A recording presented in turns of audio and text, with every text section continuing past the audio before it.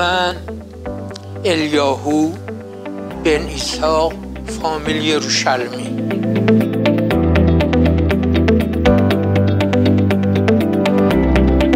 من زرگر بودم ایران و طلابم نه زیاد. من بیشتری کارم کار نقره بود.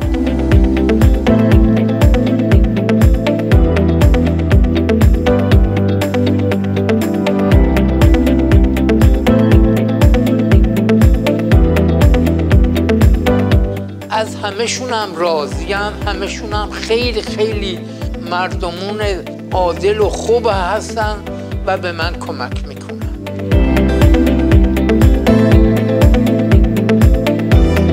برای که نمی‌خوام تو خونه باشم.